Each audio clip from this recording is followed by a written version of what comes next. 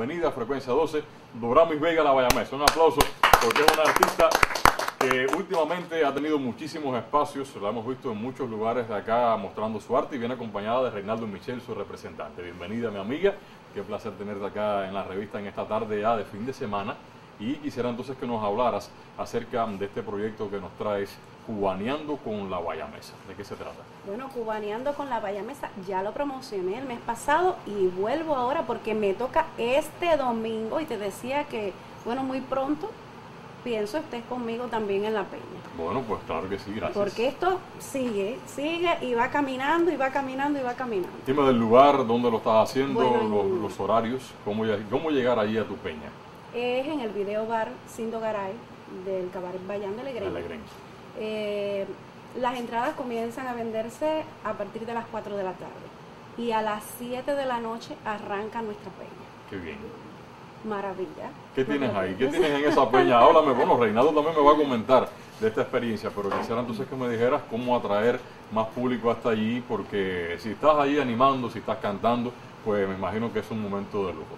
No sé, cómo no. Eh, la peña cubaneando con la Bayamesa, ya lo dice, es cubaneando, de mucha cubanía. Ahí quiero mostrar nuestra música eh, cubana y de nuestra provincia van a ir muchos eh, artistas, pasan por allí muchos artistas. La vez pasada estuvo José Alberto Ruiseñor, el dúo de Giovanni Oliva. Em, eh, también están las artes escénicas incluidas. Con Angelito Blanes, el dúo de Giovanni con Angelito. Con Angelito. Y tengo incluidas también a las artes escénicas. Ahora, mm, la vez pasada estuvo Juliet, ¿no es así, Michelle? Juliet y Juan Alberto antes. Ah, qué bien. Excelentes, excelentes actores los dos. Maravilloso, aquello se dio finísimo, finísimo, maravilla, aquello fue sorprendente, muy lindo. Y ahora eh, tengo varios invitados que no me gusta mencionar, entre ellos, bueno, José Alberto Ruiseñor, que ya se me está haciendo asido, como yo también en, su, en, sus presentaciones, en sus espacios, porque ese es mi hermano y siempre tiene que estar conmigo. es una obligación ya de, casi de sangre. Eh, eh, de las artes escénicas tengo como invitada a, ¿lo digo? Sí. Bueno, sí, se puede decir, pues ya. a nuestra queridísima Yudexis de la Torre.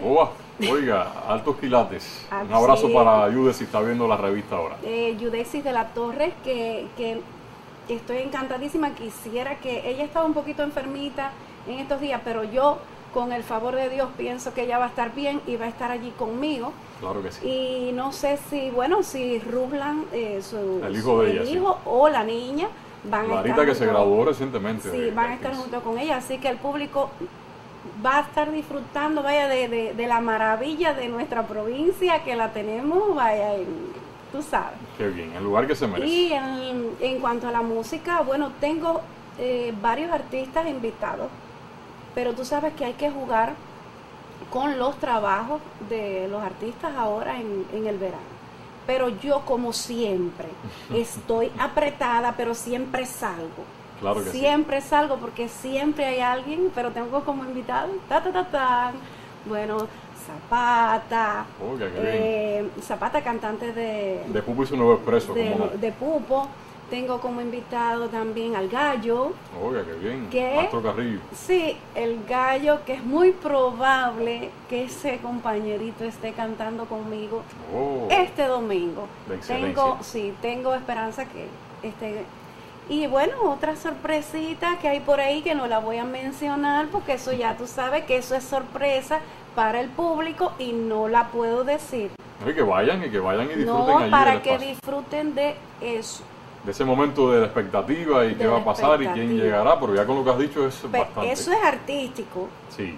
Pero en la parte gastronómica, no sé si Michelle lo va a decir porque yo no sé ni lo que te voy a dejar hablar porque no, no, él va a hablar, yo le voy a sacar bastante información ahora. este, la parte gastronómica, señores, no se lo pierdan.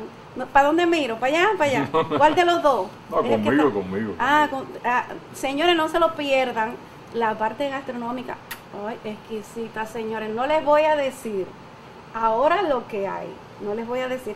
Pero de hecho, hay media caja de cerveza por pareja. Oiga, pero no, pero ya lo estás diciendo, fíjate que hasta a mí me han dado muchísimos deseos de ir por allá.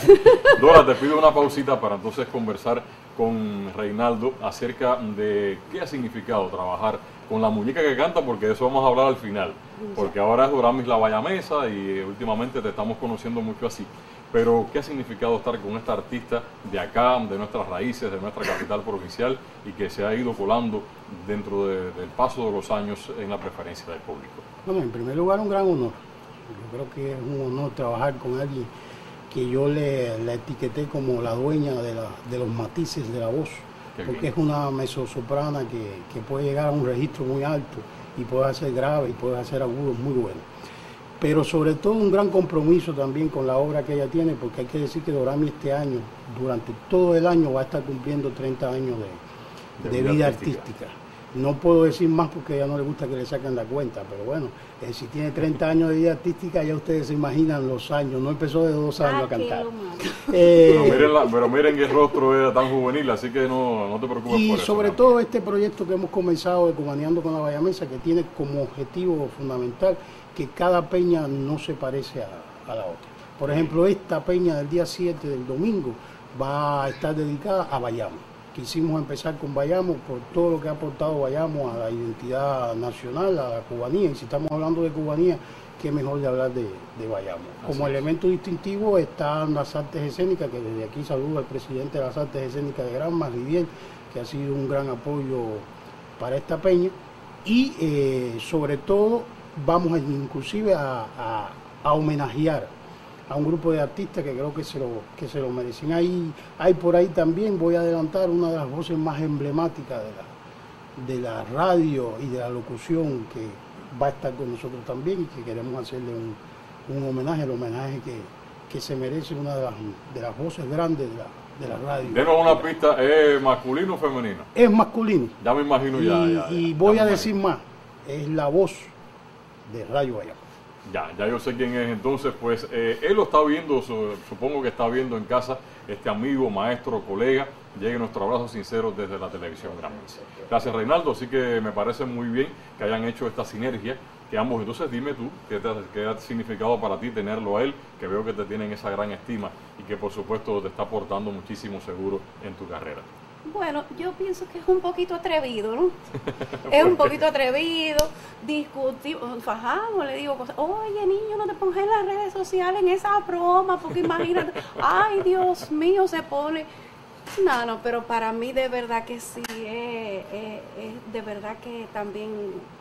Un gran apoyo para Un gran apoyo. Eh, ha sido una familia, el equipo completo.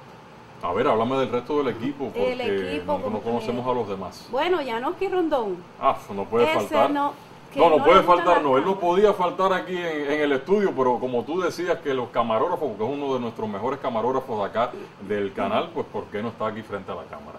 Así mismo, y que me hizo ese spot tan bello. Así es. Ay, mi madre, qué cosa, y que no está aquí defendiendo eso. Bueno, ya no Rondón en la producción, y tengo a Ana Cecilia Rosabal también eh, en la producción que están, y esa gente ha sido para mí, Michelle, Cecilia, Yanoki, son más que, que mis compañeros de trabajo, son mi familia, también están dentro de mi casa. Todavía no me has llevado el paquete pollo que me prometí. pero bueno. Pero está dentro de la casa. Pero está están dentro de la casa. Lo que quiere decir que hoy me voy para allá para tu casa. No, cuando lleves el paquete de pollo. Hoy se come pollo entonces. Pero bueno, señores, de verdad que sí, es, es algo muy, muy bonito que me ha pasado. Y me siguen pasando cosas lindas que no las voy a decir eh, hay una cosa linda que me pasó ayer que está por allí, pero eso va a salir después. Bueno, ya, claro, eso aparte también de las sorpresas del espacio de la Peña, cubaneando con la Yo los invito a que vayan allí. Domingo, vamos a repetir, domingo, 7 de la noche, las entradas a las 4. Las entradas comienzan a partir de las 4 de la tarde. En el video bar sin Que imagino que con el conteo regresivo que le he hecho a las publicaciones, señores, corran y a las 2 de la tarde estén no, así mismo no, se, no, se quedan afuera. Vamos rápidamente, eh, Doramis, a que me comentes, porque ya así de la vaya mesa, pero antes era la muñeca que canta. Háblame de este, de este cambio de, de nomenclatura artística, cómo, cómo has logrado esto y por qué.